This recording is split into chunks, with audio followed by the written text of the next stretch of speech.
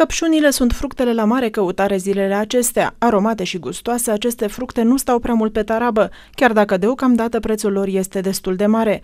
În ciuda pandemiei, producătorii sunt mulțumiți. Pentru ca și cumpărătorii să aibă încredere, aceștia au aplicat mai multe măsuri de protecție. Persoanele care vin să culeagă sunt triate astfel încât să nu existe cazuri de culegători bolnavi.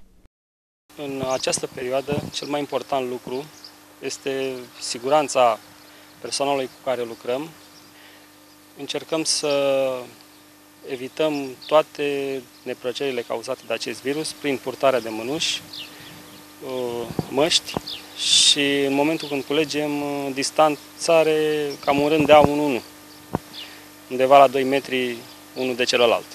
Din fericire, până acum nu s-a raportat niciun caz la noi în zonă și sperăm că nu va fi nici de acum încolo. Livrarea fructelor se face în general de acasă, oamenii evitând să mai meargă să le comercializeze în piețe. Prețul a pornit de la 15 lei, însă este în scădere.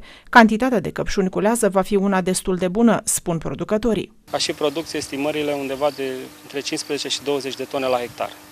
Având 5 hectare, mă vârt undeva la 80 de tone.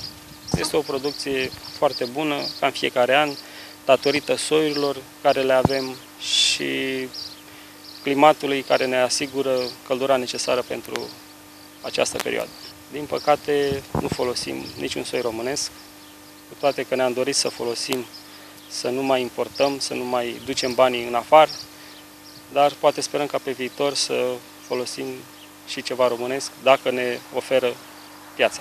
Producătorii încearcă acum, deocamdată experimental, căpșuni care să aibă fructe pe o perioadă cât mai mare a anului. Dacă iernile sunt mai blânde, am putea avea căpșuni românești pentru consum până spre finalul toamnei. Teoretic până noiembrie, dar uh, depinde de timp. Dacă vine iarna mai devreme, se oprește activitatea. Cu cât întârzie, cu atât ne împinge către decembrie. Temperatura este singurul factor care afectează această cultură. Cum anul acesta, sezonul căpșunilor coapte și crescute în aer liber din România se suprapune cu finalul celui din Turcia și Grecia, în piață vor fi fructe destule. Gospodinele așteaptă însă ca prețul fructelor să mai scadă, pentru ca apoi să se apuce de pregătit dulcețurile și siropurile pentru iarnă.